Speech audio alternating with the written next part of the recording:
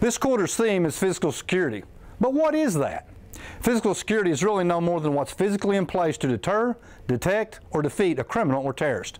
Think the three G's. Gates, guards, and guns. All are part of physical security. And what about physical security where you live?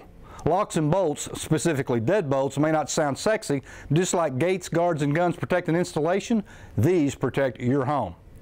Bars on windows, peepholes in doors, and something as basic as a porch light to identify visitors are all part of physical security in your residence. Likewise are alarms, and there's nothing better to act as a second alarm like a dog. And we all know bad guys hate dogs. While these basics are not all inclusive, I think you get the idea.